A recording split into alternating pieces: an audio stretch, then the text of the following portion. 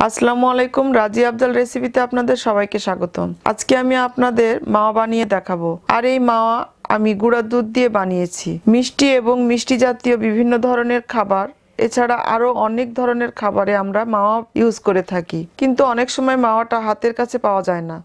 তখন কিন্তু পাঁচ থেকে দশ মিনিট সময়ে আপনারা এই মাওয়া বাসায় তৈরি করে নিতে পারবেন। আমি আশা করছি মাওয়ার এই রেসিপিটি আপনাদের ভালো লাগবে। মাওয়া বানানোর জন্য আমি একেবারে লোহিটে চুলায় একটা ননস্টিক প্যান বসিয়ে দিয়েছি। এর মধ্যে আমি এক টেবিল চামচ ঘি দিয়ে দিলাম আর half cup liquid full cream দুধ। দুধ দেওয়ার সাথে সাথে এটাকে নাড়তে শুরু করতে হবে।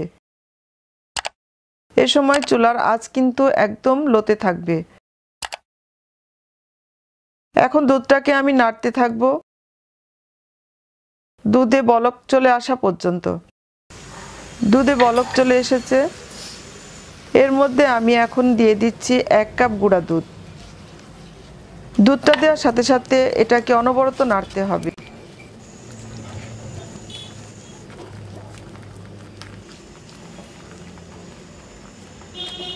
প্রায় দুই তিন মিনিট নেড়ে নেওয়ার পর এর মধ্যে আমি দিয়ে দিচ্ছি দুই তিন ফোঁটা কেওড়া জল। কেওড়া জলটা অপশনাল।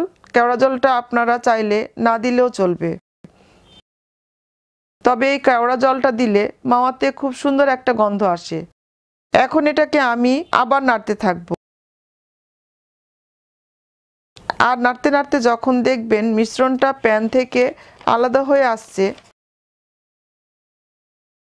প্যানের গায়ে লেগে থাকছে না, তখনই বুঝতে হবে মাওয়াটা হয়ে গেছে। আমার এই মাওয়াটা হয়ে গেছে, আমি এখন এটাকে তুলে নিচ্ছি। মাওয়াটা হতে আমার প্রায় পাঁচ ছয় মিনিট সময় লেগেছে।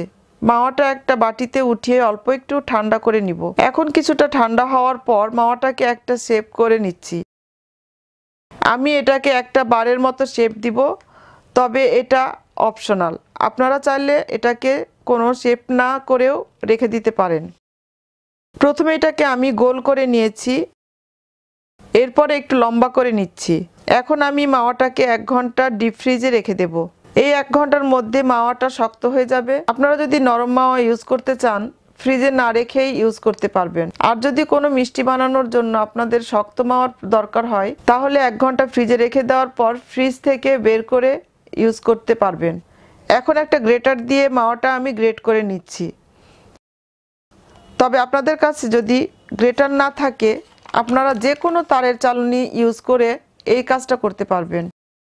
আর এইভাবে মাওয়াটা গুঁড়া করে নিয়ে আপনারা যে কোনো মিষ্টিতে ইউজ করতে পারবেন। আমি আশা করছি মাওয়ার এই রেসিপিটা আপনাদের ভালো লেগেছে। আর আমার ভিডিওটি ভালো লাগলে আমার চ্যানেলটিকে অবশ্যই সাবস্ক্রাইব করবেন এবং আমার ভিডিওটি ফ্রেন্ডস অ্যান্ড ফ্যামিলিকে শেয়ার করবেন। আজকের ভিডিও দেখার জন্য আপনাদের সবাইকে অনেক ধন্যবাদ। সবাই খুব ভালো থাকবেন। আল্লাহ হাফেজ।